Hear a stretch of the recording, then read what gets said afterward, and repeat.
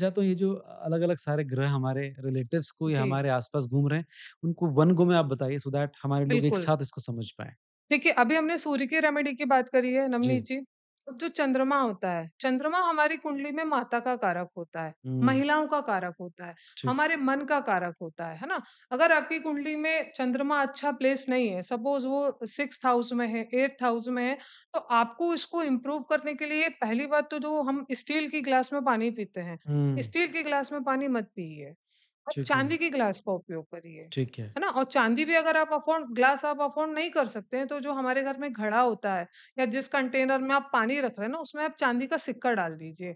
आप उससे पानी पीजिए, तो उससे जो आपका चंद्रमा होता है ना, वो वो धीरे-धीरे इम्प्रूव होता। है। ठीक है। जब पूर्णिमा आती है, जब फुल मून होता है जब आपका फुल मून होता है तो आप कोशिश करिए कि उसकी जो छाया होती है ना फुल मून की उस दिन आपका जो चंद्रमा होता है वो बहुत पावर में होता है। आप फुल मून की छाया में सोइए सारी रात। अच्छा। हाँ, हुँ, उससे आपका एंग्ज़ायटी, आपका डिप्रेशन, आपका जो कहते हैं ना मूड स्विंग्स जो होते हैं, जैसे कई लोग डिप्रेशन में आके ही सुसाइड करते हैं, क्यों? क्योंकि हुँ, उनका मन कमज़ोर होता है, है हाँ, ना? तो उसके लिए सबसे बेस्ट रेमेडी है और अगर आप नहीं सो सकते हैं, तो जिस दिन पूर्णिमा होती है, जिस दिन फुल मून होता है, आप उसकी छाया में कम से कम एक घंटे बैठिए, ओम सोम सोमाय नमः का आपको जाप करना है और वहाँ पर एक चांदी का टुकड़ा आप रात भर रखे रहने दीजिए। वो चांदी का टुकड़ा सुबह उठा के या तो आप उसे पहन लीजिए या आपके जो पर्स है या जो ऐसी चीज़ है जो आपके पास हमेशा रहती है या उसका हुँ, ब्रेसलेट बनवा सकते हैं, उसका पेंडेंट बनवा सकते हैं, ठीक आप है। उसे वो पहनिए। उससे आपका जो चंद्रमा होता है ना, वो स्ट्रॉन्ग होगा। इम्प्रूव करता है और ठीक है। अगेन चंद्रमा जो है वो माता का कारक है, तो हुँ, अपनी मदर की रिस्पेक्ट करना इज़ अबाउट एवरीथिंग तो आपका चंद्रमा है वो ऑटोमेटिकली इम्प्रूव होने ठीक है, लगेगा। ठीक है, ठीक है। तीसरा ग्रह आता है मंगल।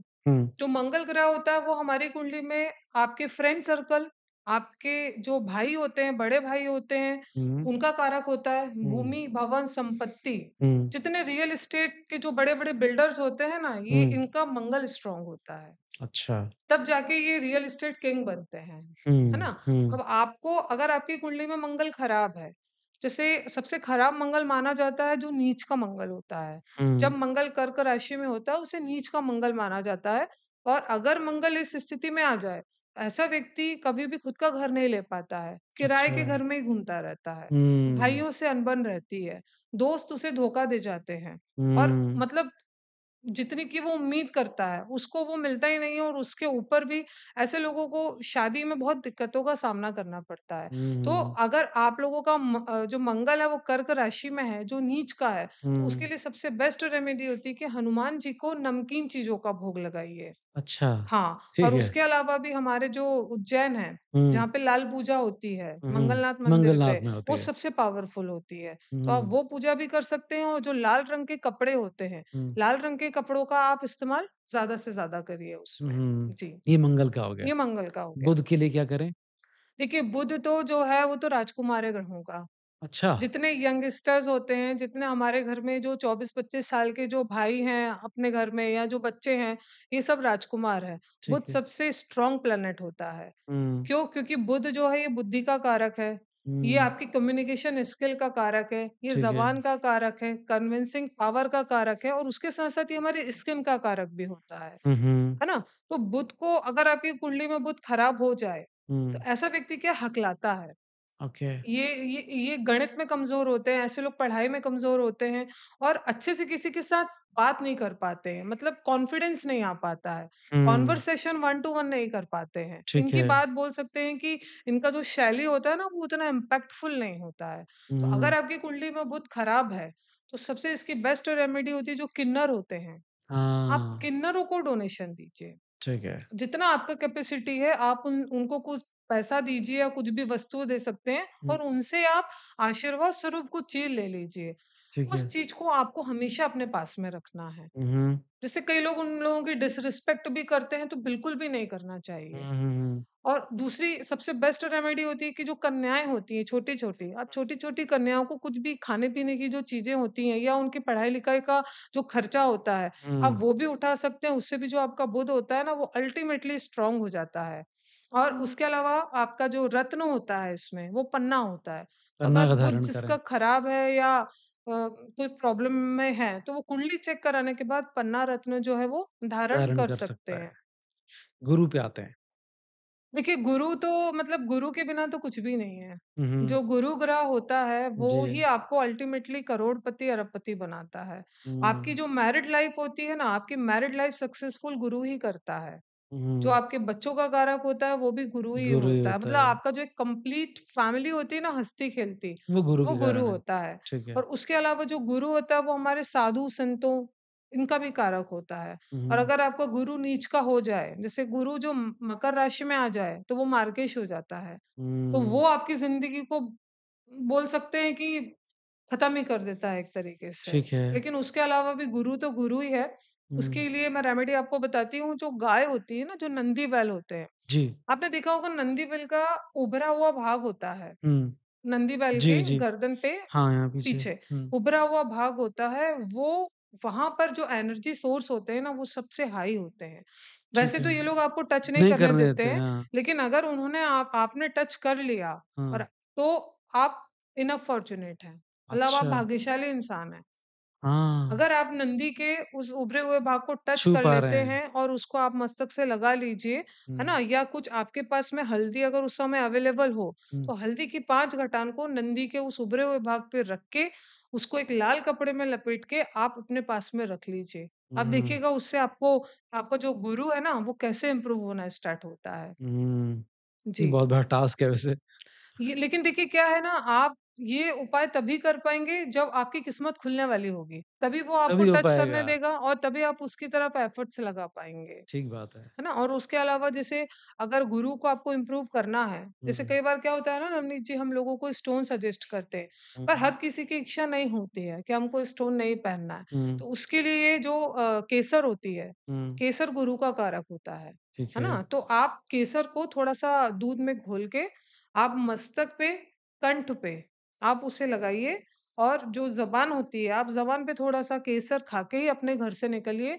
अगर आप ये रेमेडी रोज़ करते हैं, जैसे हमने स्टार्टिंग में बात किया था, अगर आप ये रेमेडी रोज़ करते हैं ना, तो धीरे-धीरे करके आपका जो गुरु होता है, वो इम्प्रूव होने लगता है और ऐसे लड़के लड़कियाँ जिनको शादी में दिक्कत आ रही है, इनकी शादी नहीं हो पा रही है, तो उन लोगों को भी जो केसर होता है, वो अगर पानी में मिला के नहाते हैं, तो उससे भी उनकी जो विवाह में दिक्कतें आती हैं, वो भी दूर होती है और गुरु भी काफ़ी हद तक अ, पॉज़िटिव रिज़ल्ट देने लगता है। ग्रेट ये मेरा क्वेश्चन में था कहीं पर एक कि बेचारे बहुत सारे लोग होते हैं जिनकी शादी ऑलमोस्ट फाइनल होते-होते रह जाती है। तो ये उपाय वो कर सकते हैं। हाँ जी, बिल्कुल, ये वो उपाय कर सकते हैं। जी, अब जी। आते हैं हम शुक्र पे।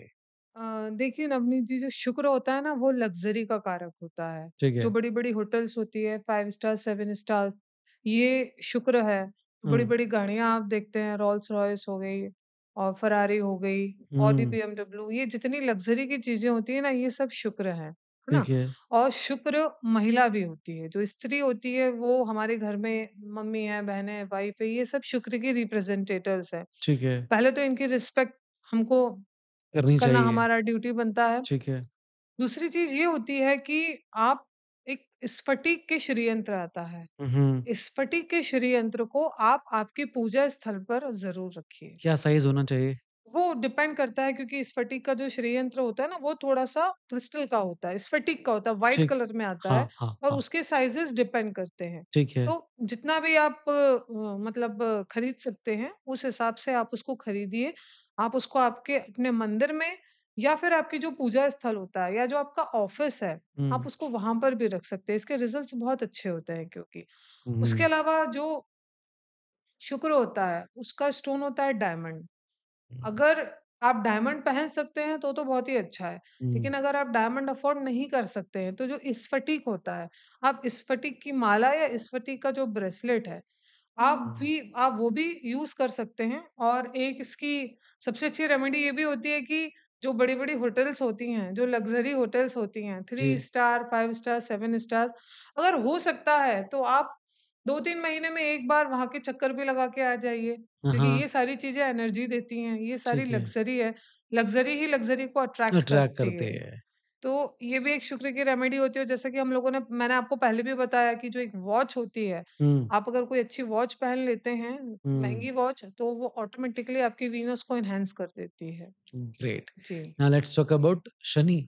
Oh! Shani. हाँ। देखिए 2024 है नवनीत जी। जी, शनि का एक स 2024 का टोटल आठ होता है जी, और आप सभी को पता है कि ये जो साल चल रहा है ये ना, शनि का ये साल है। शनि का ही साल चल रहा ठीक है। है। तो ये जो अ, शनि होता है बेसिकली ये रिप्रेज़ेंट करता है जो लेबर क्लास होते हैं, जो हुँ, मज़दूर होते हैं, जी, उनको रिप्रेज़ेंट करता है, जो हमारे हाउस हेल्प हैं, ये उनको रिप्रेज़ेंट करता है, जो डॉग्स होते हैं ब्लैक कलर के, ये उनको भी उनको रिप्रेज़ेंट रिप्रेज़ेंट करता करता है। है। ओके।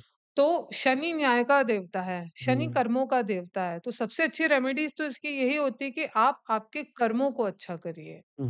जितने भी हमारे हाउस हेल्प होते हैं या जो अ, लेबर क्लास होते हैं, आप इन लोगों के लिए कुछ भी चैरिटी करते रहिए, कुछ भी दान देते रहिए, है ना? हुँ, और उनको कुछ भी खाने-पीने की जो चीज़ें होती हैं, आप हुँ, उनको वो देंगे, तो इससे आपका शनि इम्प्रूव होता है।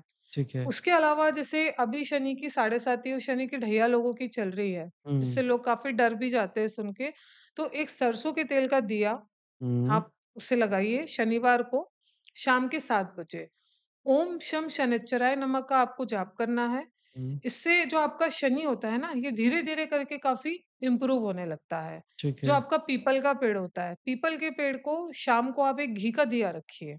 हुँ, है ना? और आप वहाँ पर भी बैठ के 2-5 मिनट के लिए एक मंत्र जाप अगर हो सकता है तो आप वो भी कर सकते हैं। देखिए हुँ, जो शनि है ना वो कर्मों का देवता है। ठीक है। आप अगर डॉग्स को फ़ीड करवाते हैं, काला कुत्ता हो या किसी भी कलर का कुत्ता हो तो ये भी आपको मतलब आप सम समझ लीजिए कि आपको ये चमत्कारिक रूप से पॉजिटिव रिजल्ट्स देने लगता है। क्योंकि it's all about your karma. ठीक आप बात है। हर दिन कर्म कर रहे हैं, आप हर दिन अच्छा कर रहे हैं तो आपके कार्मिक अकाउंट में सारी अच्छी-अच्छी चीज़ें ऐडिंग ऐड होती होती जा रही जाएँगी। हैं। उसके अलावा शनि का एक डकैत का दान होता है। डकैत का दान। हाँ, आपने ये देखा होगा ना कि ये जो मंदिर के बाहर जो घूमते रहते हैं शनि मंदिर के बाहर कहते हैं ये दान दे हाँ, दो, दान हाँ, दे हाँ, दो, हाँ। वो डकैत होते हैं। अच्छा, हाँ। इन्हें ध्यान देना इन्हें चाहिए। दान देना चाहिए। अगर आपका शनि अच्छा नहीं है, पर अगेन मैं बोल रही हूँ कि आपकी कुंडली चेक करवा के ही आप ये अ, दान दीजिएगा, ठीक क्योंकि है। किसी का योग कारक शनि है और अगर वो ऐसे दान करने लगे तो वो नेगेटिव रिजल्ट्स भी मिल दे सकता हैं। है। हाँ, हाँ, इसीलिए हर किसी को दान देना भी नहीं चाहिए। बिल्कुल, शनि हाँ, का तो स्पेशली नहीं देना चाहिए। ठीक उसके है। लिए भी बहुत स्पेसिफिक चीज़ें होती हैं, तो उसके लिए आपकी कुंडली को चेक करना बहुत ज़रूरी है। तो उसमें क्या होता है आपको एक काला कपड़ा लेना है, काले कपड़े में आपको अ, सवा किलो कोयला काली उड़द की जो दाल आती है, काली उड़द की दाल लेनी है आपको। उम, वो आता है ना लाल रंग का फूल, आप एक लाल रंग का फूल ले लीजिए और इन सब तीन इन तीनों चीज़ों को बाँध लीजिए। आपको एक कटोरा लेना है तांबे का, उसमें सरसों का तेल डालना है। उसमें आपको अपना चेहरा देखना है और ये चीज़ें और ये तेल जो है, बाहर जो भी शनि मंदिर के बाहर खड़े रहते हैं, जो डकैत जिनको हम बोलते हैं, डकैत का दान है, आप उनको दे आइए। ये आपको चार शनिवार करना पड़ता है। ठीक है। जी, तो इससे भी अ, अगर जिन लोगों को शनि अ, की साढ़े साती ढैया के दौरान दिक्कत आती है, हुँ, जैसे अगर आपका शनि चौथे घर में है, हुँ, 8वें घर में है, तो ये आपको थोड़ा-सा प्रॉब्लम दे देंगे सकता है। सेकंड हाउस में है, तो ये आपको प्रॉब्लम दे सकता है। हुँ, और जैसे शनि का जो रत्न है, जो अमिताभ बच्चन जी ने पहना हुआ है नीलम, हुँ, नीलम पहनने के बाद ही उनकी जो लाइफ है, वो वो पूरी चेंज चेंज हो गई है। थी। तो जो शनि का रत्न होता है, वो नीलम होता है हुँ, और अ, ये ऐसा बोला जाता है कि सबसे फास्टेस्ट रिज़ल्ट रिज़ल्ट मिलता देने है वाला है। नीलम का। तो आप नीलम भी धारण कर सकते हैं, पर अगेन कुंडली चेक करवा के ही आप धारण करिएगा।